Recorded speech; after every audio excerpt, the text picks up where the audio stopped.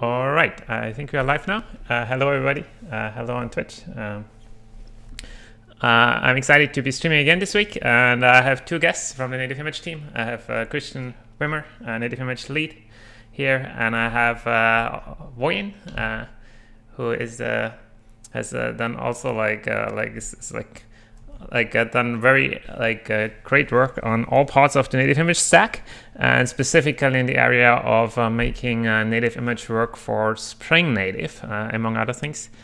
And uh, we want to today uh, like discuss like some of the design decisions around native image class initialization some of the issues around that and um, what what are the what are the potential problems you can face with class initialization with native image and how to tame those problems. And uh, so Vojin has prepared a document uh, on GitHub uh, that will guide us through this uh, discussion. And uh, Vojin will uh, now share this document and start with with like going through it, and we will discuss the various aspects of it. let me now change to the setup with sharing the screen uh, of Vojin. And Vojin, please take it away. Cool. Thanks, Thomas. So yeah, um, so I would like to start this presentation because uh, with, with essentially why are we doing build time initialization in the first place, right? So so because in the community, I kind of feel that there is there is two mindsets, and and uh, some people are um, are really eager on, on build time initializations where others are saying uh, don't don't do this really it's not not necessary. And then in this in this whole presentation i will kind of try to uh, try to uh, try to essentially present why why time initialization is sometimes extremely good and I will also also show to try to show the pitfalls of, of build-time initialization that, that beat me and, and people I work with personally. So so basically that that you know that and, and this document that we leave here is supposed to guide people that want to decide whether they should initialize something with build-time or not, how to do it essentially properly. Right? So so let's start with the why why build time initialization, right? So so um, essentially um, in ahead of time compilers, which is Graalvm native image, it is not is it for every for by the semantics of Java for every field access or or field uh, or method access or type access, we have to check whether this type has been initialized already or not. And in JIT compilers, this is not the problem because the interpreter will do this. And once we compile the code, these all, all these checks are basically removed. So, so, so the interpreter, like the compiler, doesn't have to worry about this.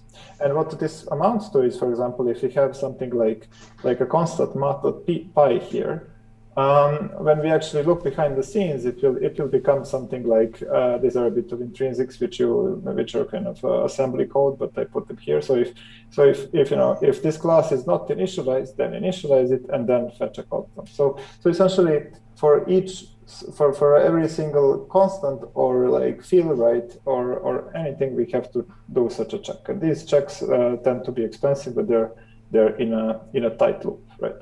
So so we can we can kind of uh, go to this example here, and basically and see see how this how this looks, right? So if we have this hot path checks, so we, I, I made two classes here, which we will use this example throughout the talk. Um, and basically, it's a it's a very um, it's a, it, it just has two classes, which are like uh, one is called slow math, and this slow math has this field here fast square root, which basically fetches the square root from a system property, which is in this hidden behind this um, place here. And then it you know, chooses whether it should use the, the square root from Quake 2 or it will use a, a, regular computational square root, right? And then it has another function, which is a math, math function. Like it can be anything, right? It's really here, just for example, it's just add, right? And this has nothing to do with our square root. And then if you use this in a in a in a in a loop that does like many iterations of very something simple like summing all of the numbers, right? So if you do a slow math dot add, right, and we do a fast math dot add, the results will be quite different, right? So we can we can maybe even try this out, right? So if you so this this also shows how the the repository is organized, right? So what we leave here is a uh, so we have we are here in the repo, right? And so we can essentially first run this with the, in JIT mode and see um, yeah, so each of the examples, right, here it's because of the warm up, but essentially when you warm it up, it's, it's exactly the same. Uh, And then, but then in, in the in the in the native image mode, we'll see that we'll build the native image of this class. We'll see that essentially there is like a 2x difference basically. And this 2x difference uh, will come just from this single check. Right? So, so essentially, if you write high performance code, uh, you, you really need to care about what happens with your class initialization, right? If you're, if you're essentially using a, if you're using a library that is used only a few times across your project, something like config parsing and, and stuff like that, you don't you don't have to really worry about this, right? So so let's um, let's look at the result. We're building a native image of this, and then we see that it's like you know the first the slow path took uh, yeah exactly twice as much twice as much as the as um, as the as the basically the fast one, right? So let's go back to the presentation. Okay, so cool. Um, and then the second the second reason for build time initialization is essentially to uh, to at the same time reduce uh, the binary size and essentially have less less configuration for our native images. So so um, and we, we did this uh, good experiment with Netty where essentially um, is currently initialized in build time, and that's mostly for historic reasons because the when this was done, Netty you know we didn't support many parts of Netty. Um, we couldn't even configure um, we couldn't even configure some of the some of the reflections, so it was impossible to run Netty without initialization and build time. And then we decided to put it back into like a regular mode, which is runtime initialization. And then what happened with Netty was a good experiment. We essentially made this PR where we say, okay, let's let's change the, the initialization to be by default at build time. And what we what we ended up is really like tons of config. If you look at here, right, we, these files are even too big to be loaded, right? So essentially most of the changes look like this. We say, now we don't initialize Netty at build time anymore, right? But then we ended up with humongous like diffs of essentially new configuration that we that we need to introduce right? for for Netty to be correct. And and this is this was really annoying because it resulted in it resulted in essentially in a in a growth of image from about 16 to 20 megabytes in binary size. And uh, and essentially it was it was by like uh, it was basically uh, five five megabytes five megabytes uh, so four to five megabytes bigger and it was like I, think a five x factor of configuration. So was, so wait so so really so for, like maybe maybe take a little bit of a step back and like so by default when you do an application and you create a native image out of it, a class is initialized at runtime, right? Right, that's our default. We'll that's the that that's the default if you don't specify anything, right? Yes. But um, but then uh, like we have also some automatic detection to remove some of those checks if a class doesn't have a complex static initializer, in. Mm-hmm. Exactly. So, we, have, we have automatic checks, but but uh, uh, these checks work only for simple classes. We will come for right. that really soon. Mm-hmm. Uh, we have this action very soon. Uh, but if you look at Netty, for example, right mm-hmm. here. Uh, yes, so, Net is a complex case. It has very complex classes, right? So yes, exactly. Right. It has very so, complex static initializers.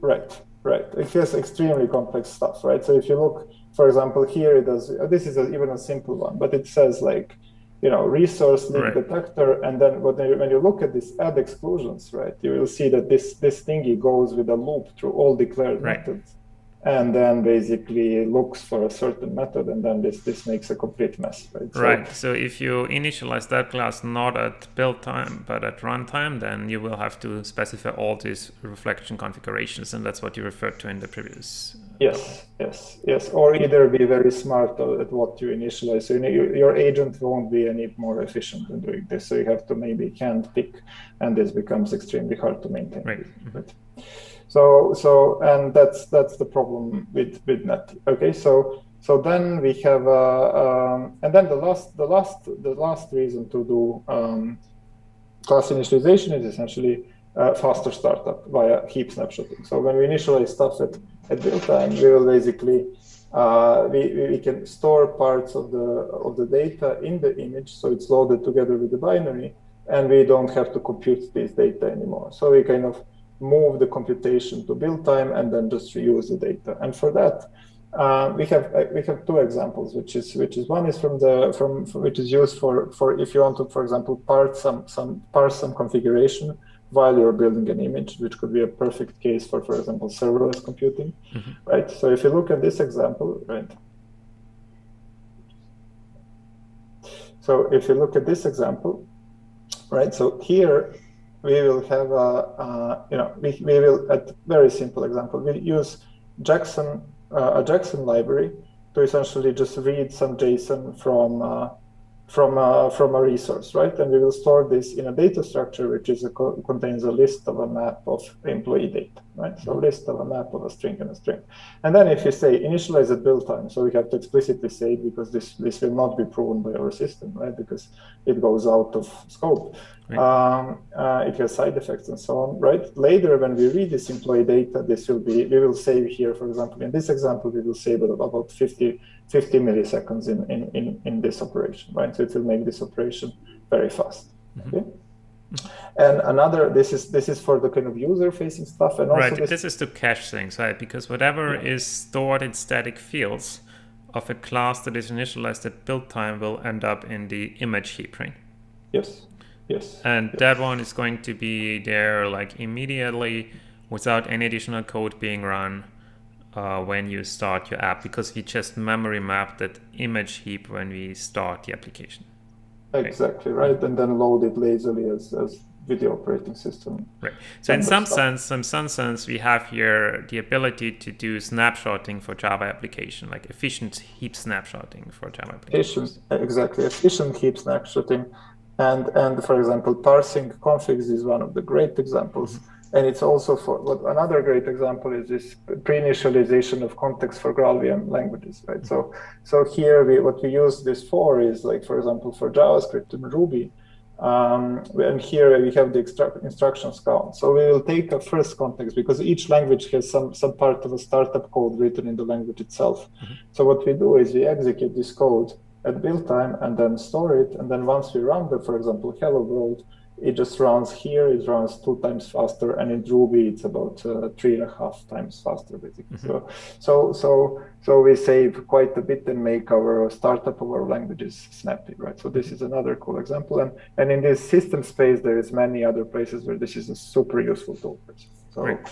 right. And, and kind of doing this, doing this without the, the snapshotting would require um, intense intense work basically, and right. it would it would, uh, you would you would need a lot of like over like maintenance overhead. And here you basically just a, you know few few classes and you're done. Right? Mm-hmm. So so it's also uh, in a sense when you do systems programming, it's a it's it's a time saver really a, a big one.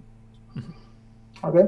Yeah. So um, one, one comment also, Thomas, you said of course that uh, static fields is more or less in, in a normal Java application the only way you can more or less do pre-initialization because it's like, yeah, you run a class initializer and it stores data in a static field and that static field is then automatically available. But that's more or less just because Java doesn't have a better API for that. For native image, we added our own API called image singletons for that.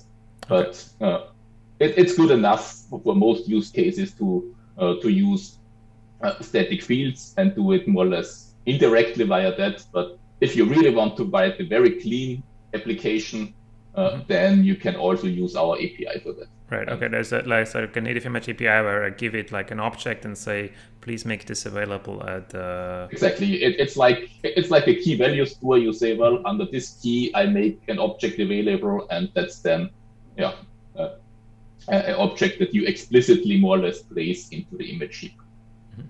But cool. For, and, this this image heap is it like does it have like a read only section and a write section or is it just one section that is writable?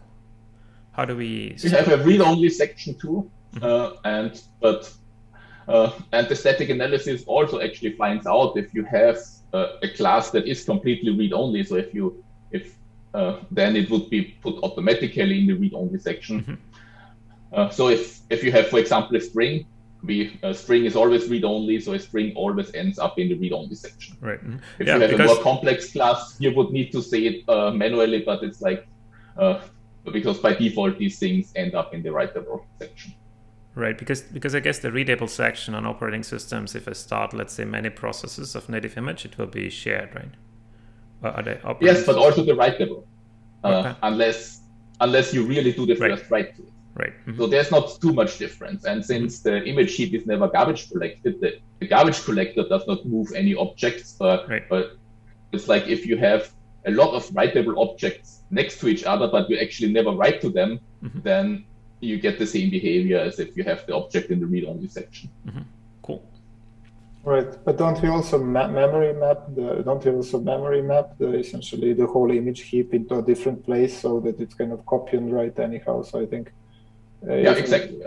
Mm-hmm. Right. So we actually, I think you never um, modify what's in the heap basically in, in the sp- in, in the place you will modify it in a memory map right yeah you might make yeah you might make a copy of it and then it will add to the memory consumption of the of the process but as long as you don't write to it it won't right, right. exactly right. cool right right cool so that was that was the, the, the i think the why i mean of course like this this document is very well uh, extendable but this is what i've seen by now as uh, mm-hmm. very very useful uh, very useful things and and and uh, in, in in many places irreplaceable, I would say. Mm-hmm. So so just before we go to the to the dangers of, of built-time initialization, I would like to just go through the rules a bit, mm-hmm. uh, so yes. people are aware what are what are essentially you know what what what what what do we, what what, what, what do we do behind the scenes, just like a tiny bit and then what are the rules that, that are imposed by the by the Java semantics itself. Uh, so so first let's talk about the types of classes in, in Broadway native. So there is essentially so there is for each class we have three three kind of levels of initialization, and and I here like or like reorder them a bit to our to our standard order. So so the first time is is the build time initialization, and this marks that this class is initialized during native image build and all of its statics fields will be uh, that are reachable will be saved in the image heap. Okay, so that's uh, so essentially, you know, if you have a reachable field in this class, everything from that field will be stored into the image heap. Mm-hmm. Then we have runtime classes. It essentially marks that the class is initialized in runtime, and this is our default, right? So we, if if if you have a class in native image, by default it will be marked as runtime. Um, you know, and the, the class initializer will, and as well the values of the fields will be computed at at runtime, right? Mm-hmm. And we have this third one, which is not really visible in the APIs, and, and it's it's left intentionally so because it's kind of not completely sure what we want to do here. And and this is like a, called a rerun, and it's an internal state that means uh, this is a this became a build time class by accident, which means someone was evaluating code at the build time and then some of the classes got initialized, but we don't really want them to have them initialized at build time in the in in our final image because, for example, it's incorrect or or yeah, for example, it's incorrect, right? Mm-hmm. So so this is essentially kind of a uh, yeah, this this when you mark something as rerun, you say I know it was by accident initialized at build time, but I want it to be runtime. So so that means that the static fields will be like computed at runtime. Recomputed. Right. The static initialize will be rerun. So rerun is kind of like runtime, yes. It's run. Yeah, so you, a, yeah. And it's that the reason why we don't advertise it too much, and it's also not in the APIs, is it's like uh, it, the class initializer really runs twice, and uh, that can have strange side effects. Mm-hmm but it's one of these things. It's like uh, sometimes you really need this uh, this state because there are things you cannot do otherwise. A very good example is, for example, uh, the the random seed holder in, in the Math class in the JDK, because it's like obviously you use random number generators during image uh, image build time, so the class gets initialized, but you cannot bake that random seed into the image because right. otherwise all your images would produce the same random numbers. So it's like you need to run this code twice, uh, but uh, you really need to know what you're doing when using this state, right. because it's like it can have very unintended side effects, like you you allocate singletons twice, and then you can mix them up, and suddenly you're wondering, well, I have I thought I have a singleton, but now I have two instances of this class, and right, yeah, you don't want that. Mm-hmm. Makes sense. Mm-hmm. Yeah. so I think we should add this to this document, like why, what, what can go wrong in this case, but not for the, probably not for the presentation, but for later. I think we should add a few examples how this, this Yes, and surprise, I think, I think for, you. yes, you might also add here like this, this note around the random seed uh, that can have some, some like in general it's it's the random seed but yes it's also some configuration from the operating system or or from the machine that the build uh, the, the image build is running on uh, could make it via this build time initialization into the into the image heap, right? Yes. It's random seeds. One other big class of things is like, for example, the number of uh, processors and yes. the, the heap size that you have. Right. Like you don't want to inherit that from the image build, but you're running code that actually does something at image build time. So it's like you need to query this data because right. uh, uh, it, it's necessary. It's like you're running a fork join pool at image build time, so you need to size that properly. But then you run another fork join pool at runtime, but you want to use a different process to count. So it's like right. you need to reinitialize the codes that uh, that gets the process to count. Mm-hmm. Makes sense. Cool. So so let's look at the properties now. Let's let's start with some some properties of, of, of classes. So for the build time initialize classes, basically. So first of all, all of the classes stored in the image field, the, all the, the classes of ob, all objects stored in the image field must be initialized at build time. And this is necessary essentially for correctness, right? Because if you if you if you have something in your image heap and then, for example, you reach it through a virtual method, um, you would all of a sudden call a function that was of, of, an inconsistent object, of an object that has data, but it hasn't, the, the, class initializer hasn't been executed. Right, right. I mean, this is kind of just like in Java when you have an object instance on the heap, it is guaranteed that the class initializer was running before that instance is created on the heap. And yes. so if this is the image heap, it, it yeah, it, it's clear that the class has to be uh, initialized at build time if if an object of the class ends up in the image heap. Exactly. Yeah. And the, uh, because otherwise we would need a complex read barrier kind of thing to right. or before you access this object you need to initialize a class and right. that, that would be a complete mess. So it's right. like there, there's there's no way to lift this restriction. Right, makes sense. So then then we have all of the super classes and super interfaces with default methods, right, of a build-time class must also be build-time as well, right? And that's that's because essentially when you initialize it, a class, it starts initializing all of its superclasses and interfaces with default methods, right? So interfaces without default methods are left alone. And this again comes from the Java spec, right? You cannot, you know, you can you cannot have a consistent state. It's guaranteed by the by the by the by, by Java essentially that it all needs to be executed, right? Um, yeah, so and essentially and the code reached, this kind of comes from the rules above. So any code reached through a class initializer at build time must be either marked as build time or rerun, right? And and uh, yeah, and in this parser of the, the, the Jackson library that we've shown right here, essentially uh, we, we kind of most of the Jackson library will be reached at build time, right? So if you look at this example again, uh, here, when we do mapper.read value, right? So we want to just store this employee data, but on the way, right, we accidentally initialize like half of the JSON library, mm-hmm. and uh, I'll come to I will come back to that to show why why this causes causes issues, right? Mm-hmm. Okay. Yeah. So good. So let's uh, yeah. And now we talk about proving, right? So we said it's def- by default, it's uh, you know we said it's very important for performance uh, and by default, we do everything at runtime. But unfortunately, um, this is this is this is not uh, this is not going to yield performant code. So what we do is we, we we resort to kind of proving most of the classes that are safe, which means side effect free, and can't have unintended uh, effects. We, we we prove them as they are safe to initialize at build time. Right?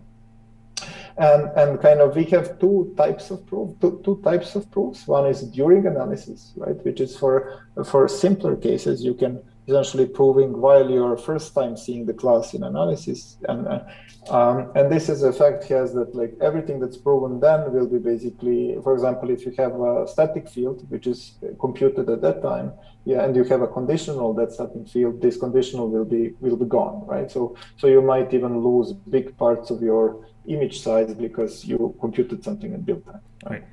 and then we have like the after analysis part, which is which does a bit more complicated uh, computations, and actually there we could even expand quite a bit more. Um, uh, and then uh, after analysis, essentially, it won't affect it won't affect uh, it won't affect the, the, the, analysis result. It won't affect the image size, but it will affect performance because it will remove these checks uh, in the compiled code. So all the checks from the beginning they will be removed for classes proven here. Right? Mm-hmm.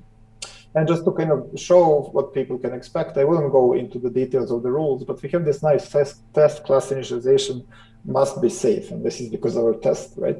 And here we can we can exactly say by by the by the suffix of the class, um, we, we can see whether whether essentially when is it proven, right? So for example, this is a pure class, right? We have just like assigned two values to the same field. This is a safer, right? Easy to prove um, you know this one is hmm.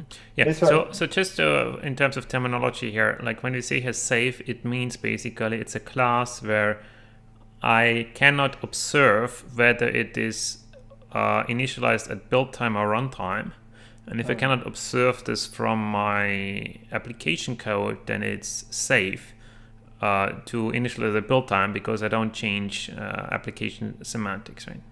Right, exactly. Yeah. Right. Unless you uh, are worried about side channel attacks and say, well, of course, there's a right. timing difference, but yes. we're not worried about that. So right, like sure. from an application behavior, there, there is no difference. So it's like right.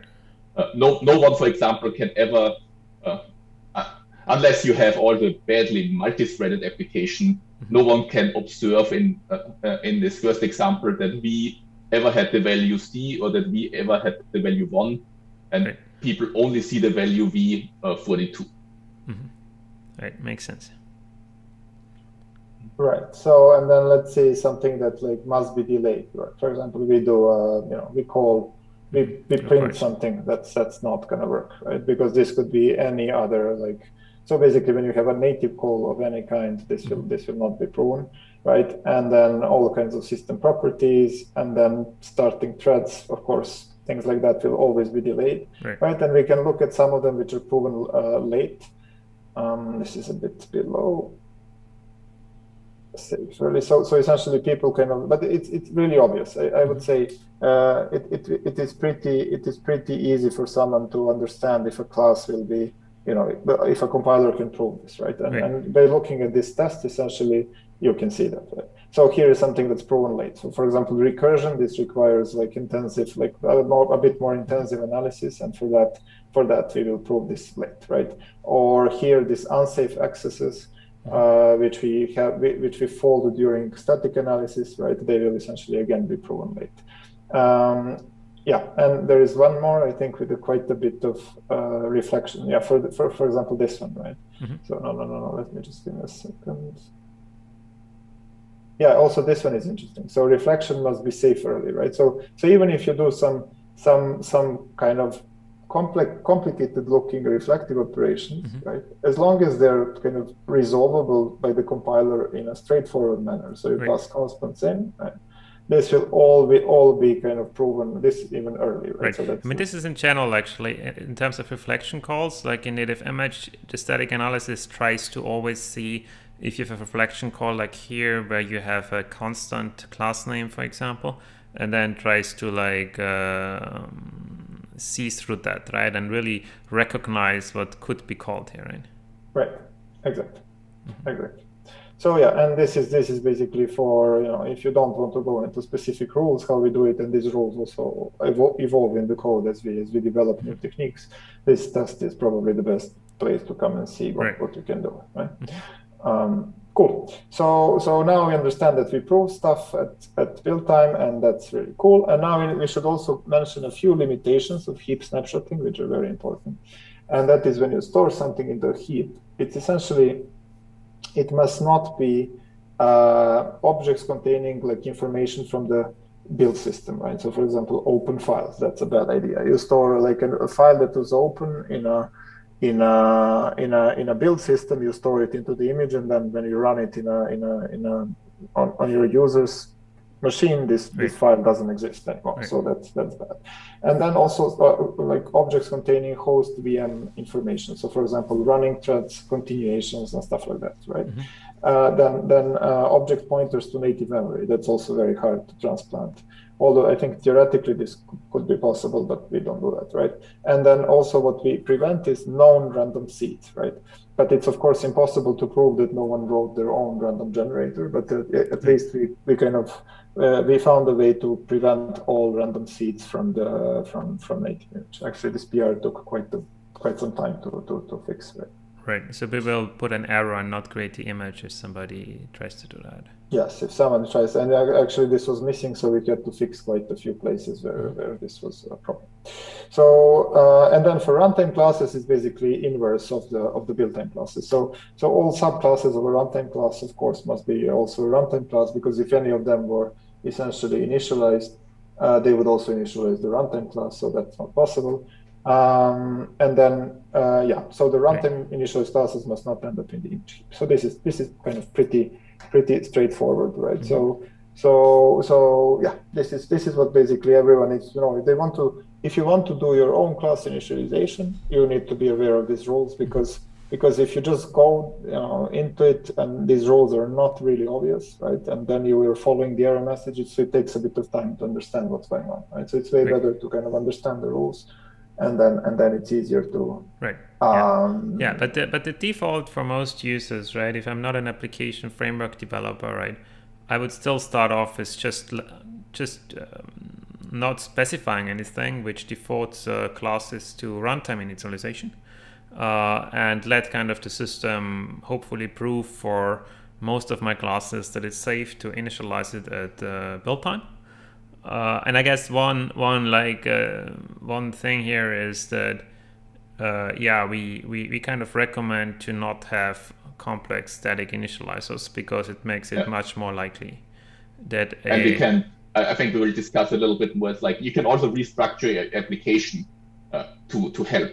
It's right. like if you you can split the class into two parts and say, well, I have one one part that is initializable at build time so I more or less put my constants that are simple in one class and I put things like a logger or so into a separate class. Mm-hmm. And then I have uh, uh, only the things that really need to be initialized at runtime, initialized at runtime. So it's like, uh, it, it's actually probably easier and safer uh, to actually refactor your application than to manually uh, initialize a class at build time when you right. have a performance problem. Yes, yes. yes. Yes, we'll reach that. We have a we have a good example from Netty that that uh, and it's I think the most common thing that right. happens to people when they when they play with this.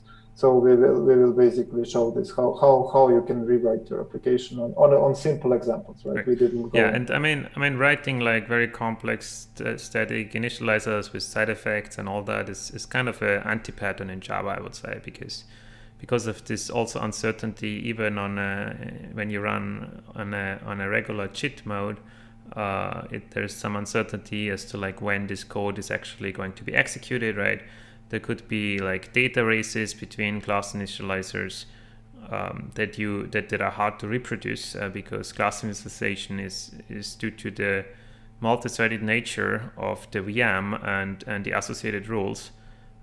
It's kind of unpredictable yeah, one one very hidden danger that most people are not aware of is actually deadlocks between class initializers. Right. Um, actually, I, I filed a JDK bug uh, mm-hmm. recently where some uh, core JDK classes just deadlocked uh, when uh, you in, did the correct uh, did some class initialization in multiple threads. So it's like you you call two API methods of the JDK at the same time, and uh, the JDK deadlocked mm-hmm. because the class initializer dependencies had cycles, and so it's right. like, uh, and every class that gets initialized uh, holds a lock, mm-hmm. and you have a deadlock. So right. it's like very complex class initializers have hidden dangers, uh, and not doing much in a class initializer also cleans up your application. Right. Mm-hmm. Yeah, and, and if you would if you would use like let's say a singleton pattern or something, you would I mean, the, the best way to do it is like I might have a static field with the singleton, but it's initialized with null, and only the first time I access the singleton, I would I would then construct the instance lazily, right?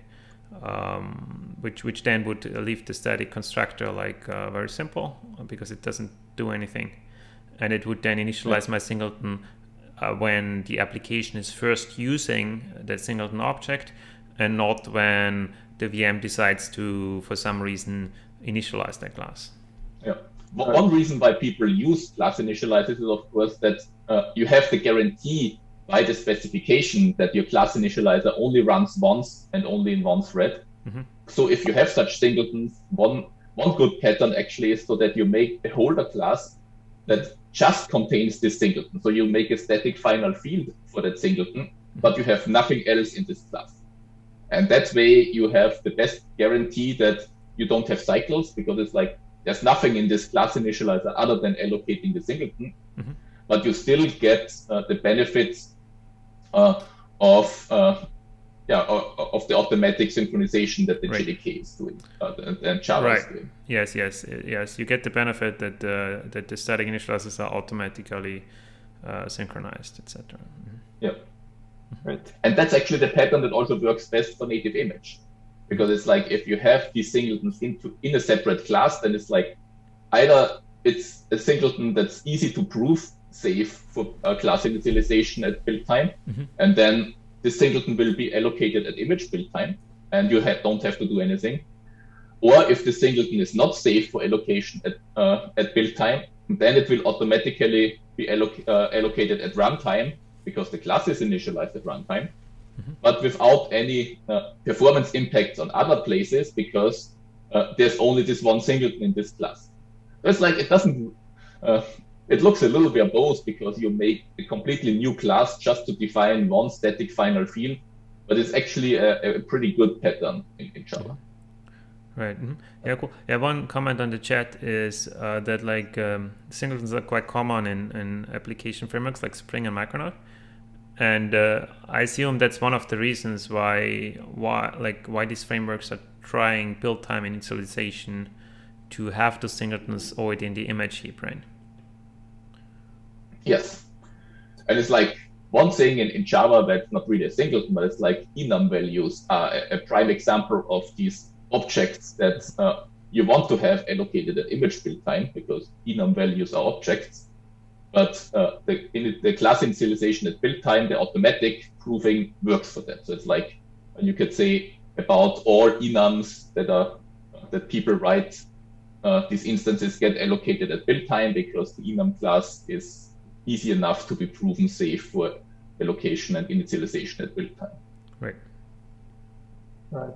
But I would also argue that, that like most of most of static state is usually just an anti-pattern because sooner or later in a system you want to make it a modular system. So if you have like a compiler, you want to make two compilers, and at that point all of your static state that is mutable becomes uh, becomes a problem. Right? Yeah, that, that's uh, that's true, and that's why also in the GraalVM team the general for the whole project, the general policy is to try to avoid any static state wherever, yeah, wherever possible. Because yeah, exactly, we, we actually kind of experienced this uh, in our project as well. Because initially we thought, okay, yeah, I mean, there should only be one instance of our JIT compiler ever, right?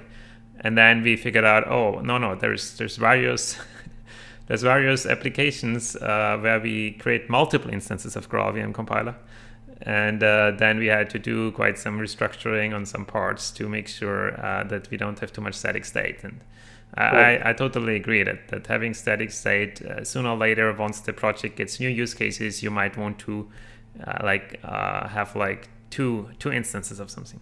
Exactly, and, and the only the only thing why people still use so much of static static initialized st static state for that is because it's in, in Java is in particular is but in many other languages it's really inconvenient to pass these objects state around, right? You end up with these providers and providers and whatnot. Right. And and if if this was a bit like somehow hidden in a language, so you don't have to pass them manually all the time, right. uh, this this can become a, a really that, that nice is, that is that is true. Yeah, um, like we ended up in the code with a lot of providers. There's a lot of provider providers and provider managers. But it's, it's a price it's a price to pay for a quite powerful uh, mechanism, I would say. Yes, yes, but also I think that that's a really good place to improve a language and find right. a find the pattern. Okay, but let's get. Uh, shall we get back to the? Cool.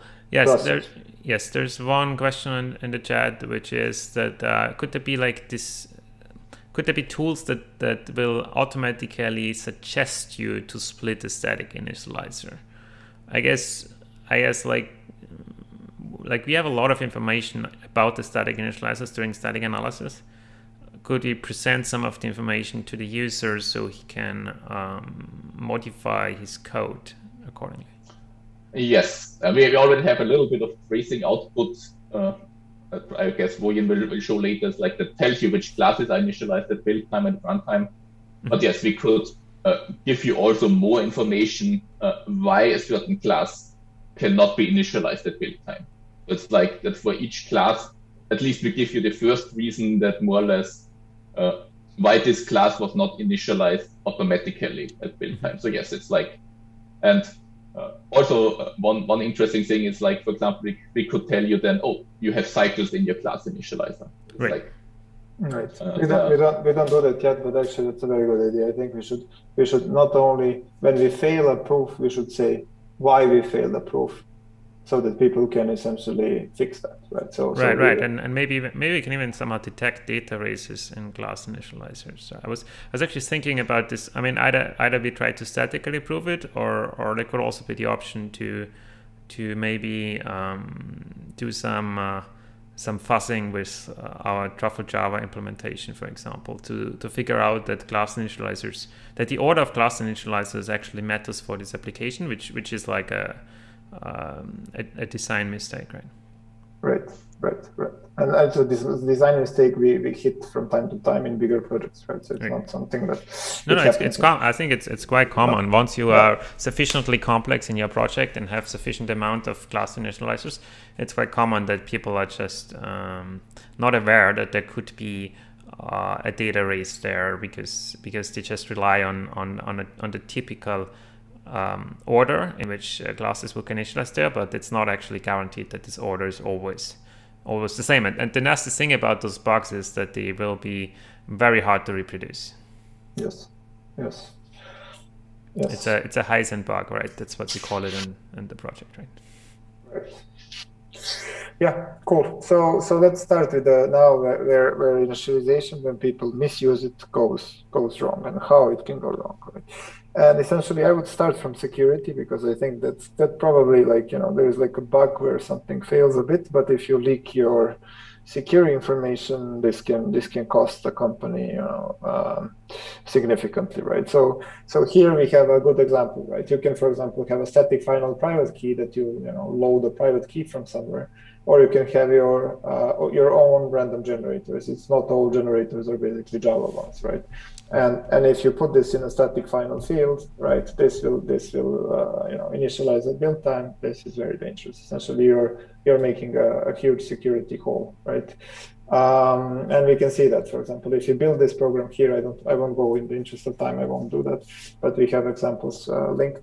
So essentially, you will see that that you know entirely random sequence is exactly the same between two runs, and this this means like security exploits, right? right? So, so you know very be, be very careful with that, right? And we should probably try to find even more things we, forbid in the um, in in Java, right? Mm-hmm.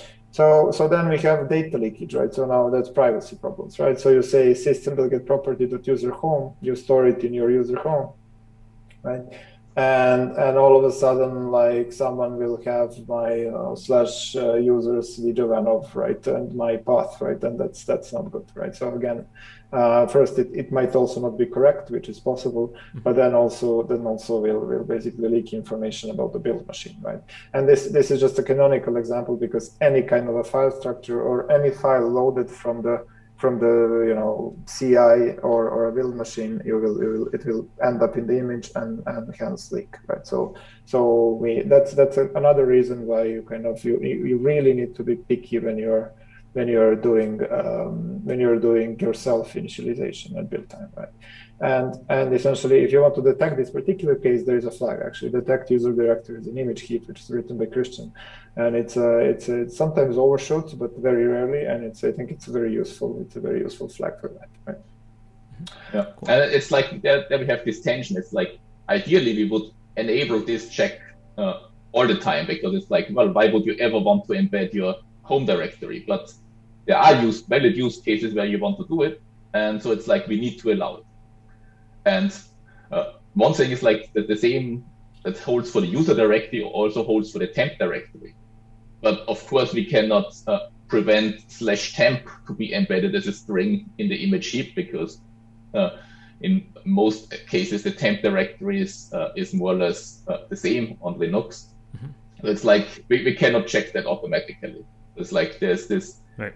Uh, tension. It's like we cannot disallow you uh, to do use slash temp in a string, so we cannot automatically check that you never capture the temp directory in a static final field. Right. Yeah. I mean, these hints are, are like best effort, right? It's not exactly. It's so it's like we do what we can, but it's right. like in the end, uh, yeah, we, we, right. It's the user's responsibility. If he if he explicitly selects build time initialization for some parts, it's in the end still the user's responsibility um, to yes, yeah to, to make sure that that uh, no state that is problematic would be cached there. Mm-hmm. Uh, yeah, there's uh, another question in chat. Like, why do we have to split the initializers in separate classes? Why can't we just split the static initializer itself of a single class to be partially executed at runtime and partially at build time?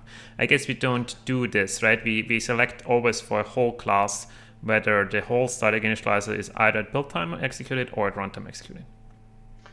Yes, and that has to do, of course, again with uh, quite integrate, uh, uh, intricate Java semantics because it's like while a class initializer is running, you can, of course, already initialize uh, access fields that are not initialized yet. Mm-hmm. So when you have, for example, a class initializer that sets a field uh, to one and then sets a static field to 42.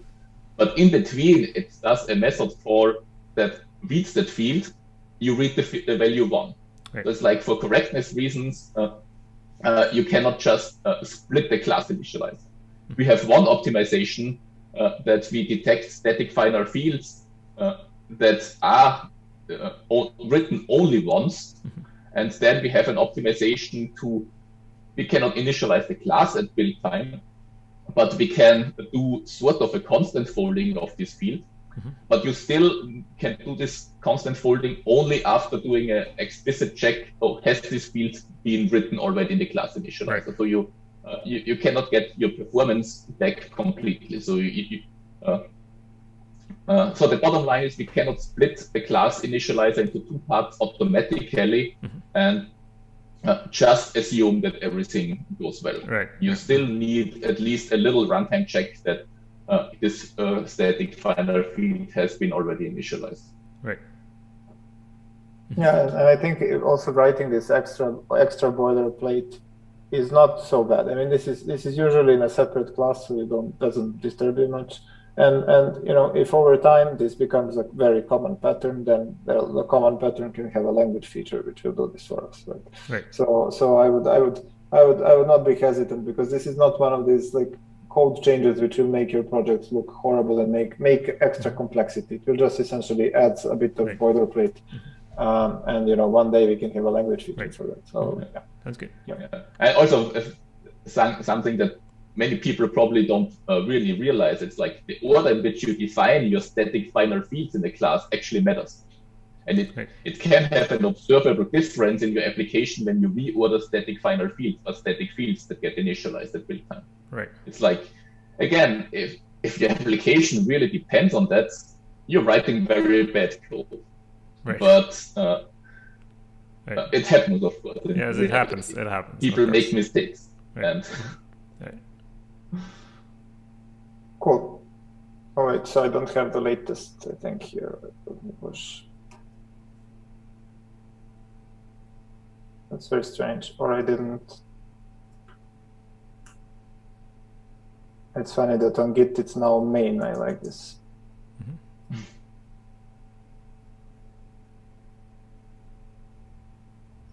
Second. This is all written. There we go. Yes. Correctness, right? So this is a, now again this reading system properties essentially. So so what you're doing is you're essentially breaking uh, breaking the correctness of your code, right? And that's Um, that's a bit of a problem because essentially um, we had this example in Java, right? And this is, for example, for inet address, right? So here you all of a sudden read a property here at build time, and at the beginning this was a build time initialized class, right? Which because we, we thought that inet addresses would be useful, and they actually show up in image heaps quite often, right? right? But then then what you're doing is essentially someone comes and opens a bug and says like I, I try native image and I pass this uh, system property and nothing changes. I still use IPv4 by default because on your build machine it was IPv4 by default. Right. And essentially, your you with all system properties, you need to be aware that if you initialize them at build time, your application won't work the same anymore, right? So when you start it up, you pass a system property that's that's already evaluated, so never never going to come back, right? Um, and and this kind of this kind of leads us that like simple code changes could cause unintended and unknown correctness problems, right? So if you go to this if you go to this read property holder here, right? So let mm-hmm. me uh, here in the VS Code, let me open it, right? So so I here made like a, a simple uh, a simple kind of uh, so here we say, you know, we read a system property, mm-hmm. or for example, if this can be in a completely different library module within a company or whatever, right? So, so, and and if you hear if you do like, you know, if this was the code before, so a developer who is like in a different module, right? And this is correct code because we initialize this at build time, it's completely fine. We will not use the fast inverse square root, right?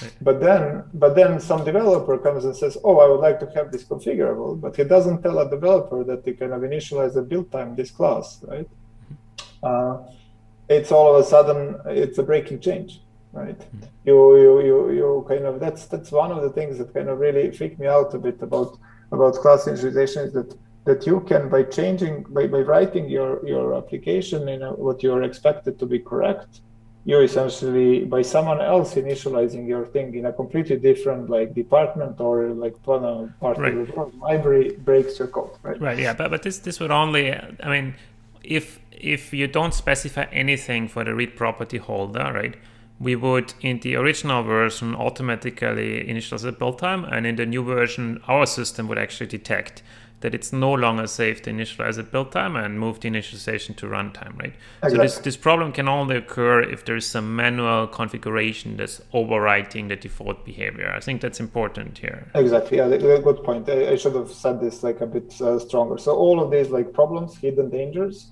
Are essentially all when you start like when, you, start with explicit uh, in explicit. You, this is like this is essentially this section tells you you're opening this can of worms right? You know you you better you better take care of all of these things right in order to do it right? And that's and that's what in my, in my experience from the community by now many people don't really go into the, such fine details right, right. So so and that's that's yeah we, we should I'll, I'll, put this in a final document as, as a, if you're if you're changing stuff you know right. you, you must read this basically right yes. so so and then again crossing the library boundaries this is again uh, you know this this happens mostly with loggers right so so essentially you know you have somewhere in your project this happens in netty a lot for example and this like you have a logger right and you want to log in your uh, class initializers right. you want to log outside of them right and you say you know get the logger right and then of course this does like a bunch of stuff and then it can log SLF4J log back or whatnot right and all of a sudden, by initializing this class, you initialize, you don't know what you initialize, right? And you went into a completely separate library and you initialize half of it uh, unintentionally, basically, right? So that's and that's that's uh, that's again causes a lot of a lot of like in the community a lot of um, a lot of confusion, right? And we'll sh- sh- show later how you can get rid of this pattern. So um, and then yeah, and then one one big point, right, is like also code compatibility. So so this is this is for me a very particular point where I realize that this this feature we, that we need to kind of really uh, uh, put put put put a big like exclamation mark and say if you do something manually, do it very very carefully, right? And and and you know be be aware of what, it can, what can happen, right?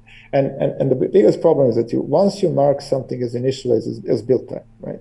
It's it's a it's a strong requirement that this class is like across the whole Java ecosystem can be stored in someone's image heap, right? So then your downstream libraries start initializing, like put this, putting this like uh, class in the in the image heap, And then if you if you ever have to change your decision, basically you're breaking you're breaking compatibility of your library.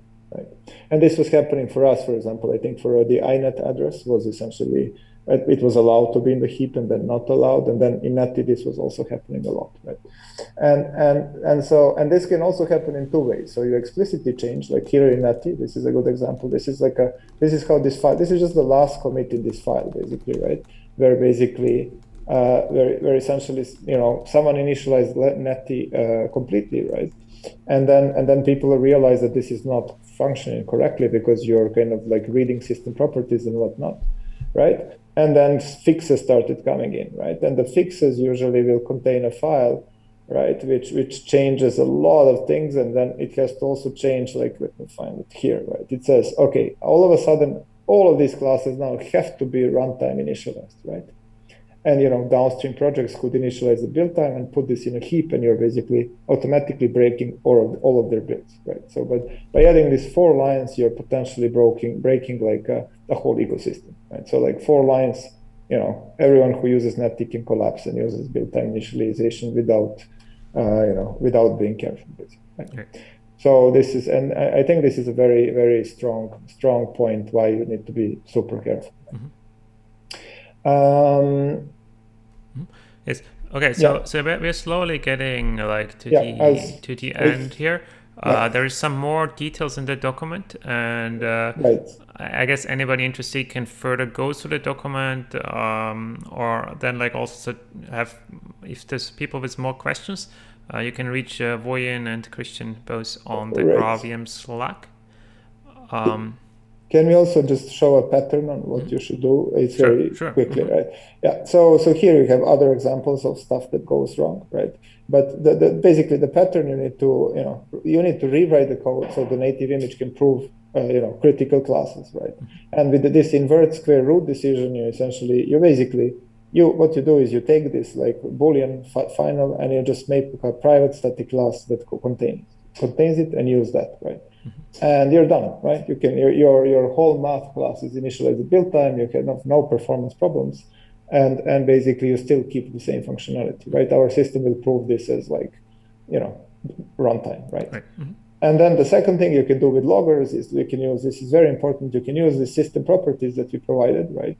To check whether basically you're at build time. So so if you're you know instead of just using a static logger, you can basically say get logger, right? And then you you know if you're in native image build, do use a no no logger. Otherwise, use like a logger that you would otherwise use.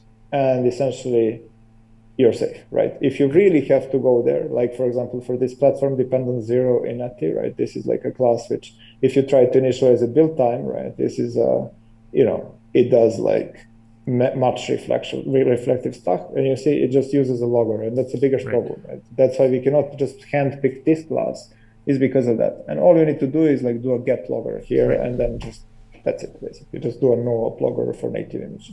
it's uh, it's basically just a property. Right? Mm-hmm. And I think this concludes it. Basically, you can debug it. That that should be in the error message. Right. So really, no reason to talk about this. Yes, yes. And we had a Twitch session. It's now uploaded to YouTube about uh, about the debugging capabilities there, about how you can trace it.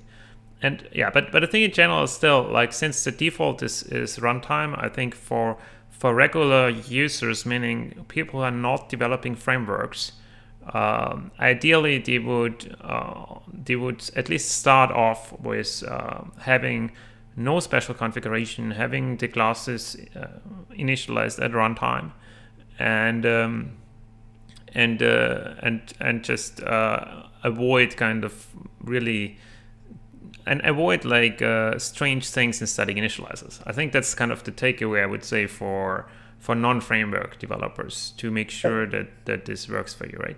But then if you want to optimize the application better, uh, or yeah, and I know that some frameworks, I think Quarkus currently forces application classes to runtime initialize uh, to to build time initialization. Um, I think I think that might not be the best default, uh, and uh, but we need to still discuss this uh, with with the Quarkus developers. But right, in, su- in such a scenario, right? In such a scenario, also just the the the tip to not do crazy things in static initializers should should work out for you, right?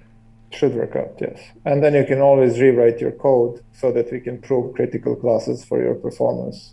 Uh, we can prove them and just write them in a way we can prove them. And we can we can work with the community on like making you know patterns that we support. And and right. i think much of much of it can be done better. Yeah and in practice i, I talked to the quarkus developers to say that it would be for their users it, they haven't run into uh, big problems for application users. So really the the challenge is for framework developers like uh, netty developers uh, quarkus spring native uh, or micronaut developers to make sure their frameworks are, are appropriate. But for your user application code it should typically work uh, without um, without without this these really special expert things. Um, yes. All right. Cool. Yes. So we'll we'll have more sessions that are really deep dive into native image with with the creators and core maintainers here. Uh, uh, and uh, so we'll have more chances for you to ask uh, questions to Christian and Vojin in the upcoming weeks. I think we will probably do regularly, like um, maybe once a month or so, a, a, a native image deep dive session will really uh, give you access to the, the actual maintainers. But uh, yeah, for today we are out of time. Um, I'd like to thank you, Vojin, for the great uh, presentation here, and also yeah, Christian for for giving your expert inputs.